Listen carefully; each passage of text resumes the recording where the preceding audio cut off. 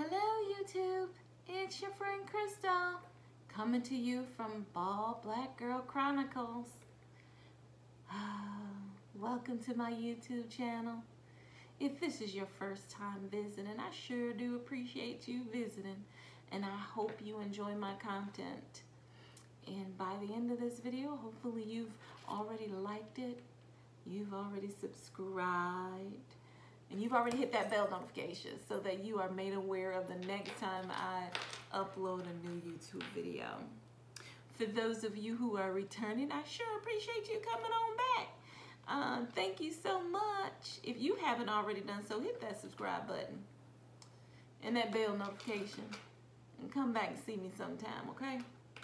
What am I talking about today? Well, today, um, You know, I was thinking about this. So I have not uploaded, I made several videos. I made several videos, but I have not uploaded, um, I haven't uploaded them because I looked a mess, girl. But I gotta upload them because it, I mean, I went shopping. You know, you gotta upload them shopping video videos because um, I wanted to share what I bought on my shopping trip. I went and visited a friend in Mississippi and uh, on my way and on my way back, I stopped a couple places uh, and I found a couple things that I should have kept. I mean, I should have left. I should have left, but I didn't. And then when I got back, so I'll upload this video. So then when I got back, I had all these packages, and I'm glad I beat my husband back home before um, before he got home. I, I came home first, so he didn't get a chance to see all my little packages. And I say they was little packages because they were, um, but it was a lot of them. And little don't mean cheap, though. Keep that in mind. Anywho, so um, I've only been on YouTube for a little while. Um, it says, I think my, you know, last when I did my official YouTube videos or whatever, it has to be about three weeks, four weeks. So it's been almost a month since I've been on YouTube. But one of my videos got more traction than the other. Um, and that was about discussing hair, you know, me being bald. Specifically, um, shaving my head as a bald black woman. Um, it has gotten a lot of, um, a lot of traction. And I was surprised. Uh, but then I thought about it and I'm like, why are you surprised? I know a lot of women who suffer and I'm speaking specifically for African American women, but um, this is not just for African American women because I'm assuming, you know, I, a lot of Caucasian women suffer from hair loss too. Speaking of which, so for those of you who don't know, I do run um, my own little online resale boutique on um, Poshmark and eBay.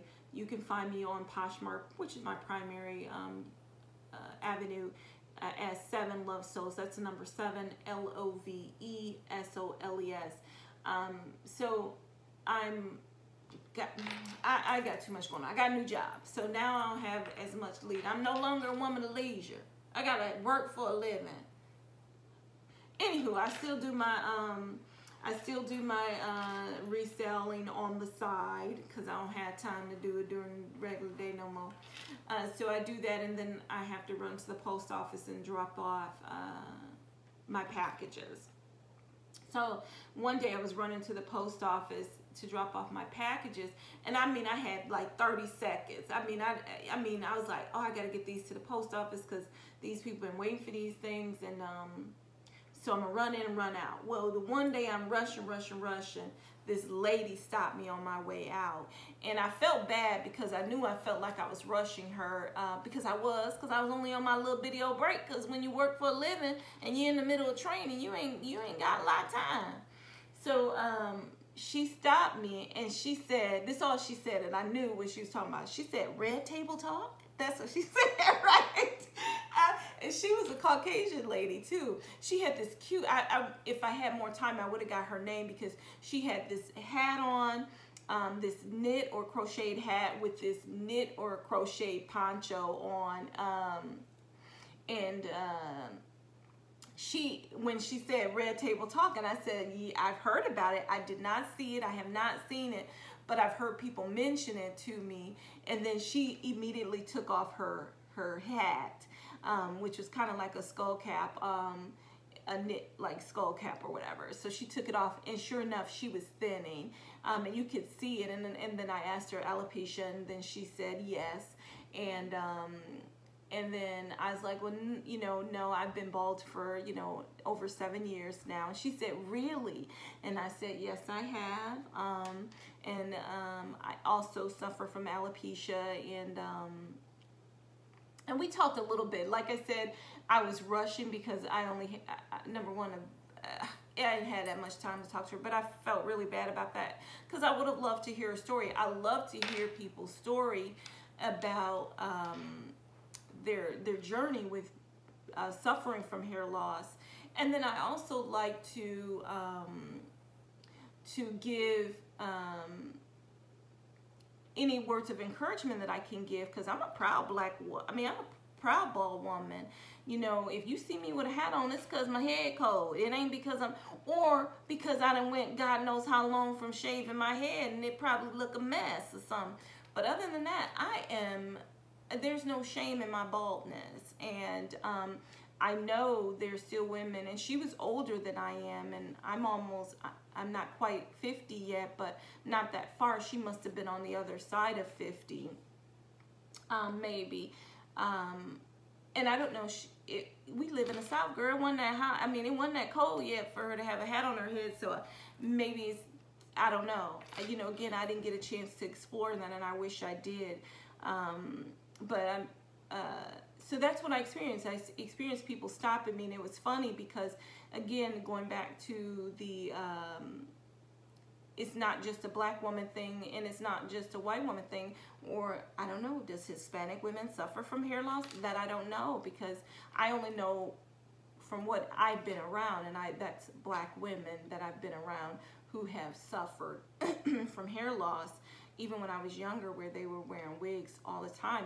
I mean, you'd never see them without their wig. They, I mean, they, they woke up and it was like, um, it's like brushing your teeth. You put your wig on and that's you got your hair on. It was like a hat, you know, that kind of thing. Um, so I guess, uh, but I, again, this is not just for, you know, black women, but I'm, I'm talking because I am a black woman who happens to be bald. So, uh, uh, I don't know. Where am I going with this video? I thought that was funny uh, that she stopped and she was like, Red Table Talk, because I know that um, people have been shared that Jada Pinkett Smith recently cut her hair off, and I know Tiffany Haddish had done it. Oh, this is what I was saying. So, um, being bald in a woman is not something new. Think about some of the bald women you knew. You remember Sinead O'Connor? Oh, you remember that video where she was like, she was crying in that video? You know what that song was? I love that song, but she was beautiful in ball. Uh, Grace Jones, girl, you talking about fierce in ball. Get out of here. Um, and then who else? Um, G.I. Jane. What was her name that did? I don't, I don't remember her name. The white lady who did G.I. Jane. She was pretty in ball too. Tyra Banks, when I used to watch uh, the Next Top Model, she would sometimes have these, and I'm assuming they didn't cut all their hair off. She would put these little bald skull cap thingies on them, and they look beautiful. But you know, um, it's some beautiful women out here that are bald, and I tell you, I'm seeing it more and more where we are what I call unapologetically bald. I do not apologize for being bald. If I had my rathers, of course, I'd rather a head full of hair. Um, but I'm balding. I, I am thinning, and I call my bald my type of balding is what I call male pattern male pattern baldness. So if you take a look at that, and the best way I describe it is think about uh, Uncle Phil on the Fresh Prince of Bel Air. You remember Uncle Phil? God rest his soul. Um, he has no hair here, I think is what it was. He was like bald here and then he had hair here. That's what mine looked like. My hair is thick as all get out. You know, thick as all get out right here. But then right here, here it's bald, period. I mean, it's, it's, most of the time it's just clean bald. But here it's just thinning. It's just thin. So you could tell how light it is and, and um, how hair follicles are slowly closing more and I'm kind of glad I'm going, I, I cut it all off before just poof, pow, went gone. But um, so that that's what I call mine is the male pattern baldness. So when I did my video about uh, cutting my hair, it's because I do have a lot of hair here. I said I should be like the Donald. You know who the Donald is? Um, um, 45, President 45. Um, I should be like the Donald and let my hair grow back and then I should swoosh it to the front like this. I, and I could be, i I'd have a lot of hair up there, girl. But that takes a lot of work and sister don't do work. See, that's the other thing. So um, I'm unapologetically bald, but I see some bad wigs and I'm not against wigs and I don't think it's anything wrong with um, bald women who wear wigs. Um, I would say wear wig because you want something different. Don't wear it because you're ashamed of your baldness. But it's not for me to judge. That's just a hope for women who are dealing with baldness because it is scary. It's scary being a woman and bald. And I know the first thing people say, if I had a head like yours, um, if I had a like yours, I wouldn't be afraid of going bald either. I said, what, a bald head? Because my head ain't perfect, girl. I got a big old dip right here. I, um, I'm a twin, so I said, that's when my brother had his foot on my head, is what I say. You had your foot on my head right there because it's flat right there. You know, I'm just perfectly, uh, perfectly imperfect. I mean, I am. It's just, it is who God made us, right? Um, said at the end of making everything he made, he said, and it is good. That's what he said. And I, I like to believe that that would include me and all my imperfections. Um, I'm still good. Hence the reason why I'm just like, I'm bald. Oh well, deal with it. Um, did I do anything differently when I got bald, when I went bald? Yeah, I did. I went all out, girl. I had these gray big old earrings, and I still have them. I'm getting ready to list them for sale on my Poshmark page at Seven Love Soles bamboo earrings, pretty earrings, never worn, girl. Then I ended up trying to do, um, I don't know. I mean, just a lot of jewelry. I had found some beautiful pieces, um, big pieces, bulky pieces, because I felt like that's what I had to do. I did want to do um, more holes in my ear, which I'm getting ready to do now. But when I first mentioned that, my husband's like, no, you're trying to do too much. You don't need all that, is what he said. Um, he's like, you're beautiful. You're beautiful, beautiful. And even when I talk about putting on a wig, he's like, why? I was like, because I want to be Sasha Fierce or something. I don't know. Uh, but he's like, you're beautiful. I, I, don't know how I feel about it. You ain't know how you felt about me being bald either, husband, then you loved it. You ain't know how you felt about me getting locks when I got my locks, but then you love that too. So you get used to it if I just decide to do a wig. I just don't do them because the sister lazy. A sister, I mean, I watch the YouTube videos and these be some bad, I do mean good, bad, bad wigs these young ladies be putting on their head and they have it looking, oh my land, I'd be like, this is, I had to go to a beautician because I've never been a hair person. So I know I'd be then foo-barred it up. So, um, so when I first uh, cut all my hair off, I did. I wore a lot of um, big jewelry, bold jewelry. Um, I always wore lipstick. This is always the color that I wore, but I did start to wear eye more eye makeup, like the eyeshadow and the like. Um, always wore eyeliner, but I had started adding the eyeshadows and you know the colors to my eyes there.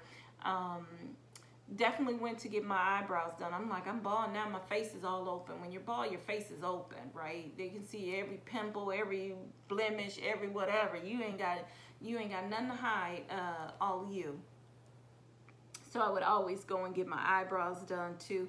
And I have to tell them, look, lady, uh, I, I wouldn't say it like that, but that's what I'd be thinking. I'm like, um, just to clean up, please don't make it thin because you see I don't have any hair. I, I don't want to be bald head and bald faced. So um, I would do that. Um, I had started getting my nails done, my feet. I over what I call it over feminizing myself, you know. So with the fear of um, thinking that people wouldn't realize I was a woman. Um, my husband was like, if they think you're other than what you are, it's their their thing, not your thing. He's like, cause you all woman. He's like, you got the hips, and I won't tell you what else he said, but he's not vulgar, so it wasn't vulgar. He's like, you got the shape of a woman, you got the facial features of a woman. If they mistake you for anything other than that's their stuff, not yours, so don't claim it to be yours. And that's a Cliff Note version of what he said. Um, so I did all of that. I did the earrings at first. I did the the bulky jewelry, the eye makeup, um, the attire. I definitely, like I said, over feminized. That's where I picked up pink because I never was a pink person, but I started to do the pinks and the yellows and all of that um, to make sure that I looked like a female. As I got, the more, the longer I had my hair bald, the less time I want to put into all of that. And it just felt unnatural. Like I, now you see, I, what do I have? I have a stud, a diamond stud, and I have some diamond hoops. These little earrings I never take out. I don't change earrings. Um, because this is a, this is how I've always been, and this is what I would say to you all. Sometimes we can go because I did add some things like I now I love when I'm going out. I love having the extra eye makeup. It just gives my eyes a, just another look. So I love that. I love the fact that I added color. So I did go over and overboard um, when I first cut it off to the point where I felt like I needed to make sure that I looked like a girl.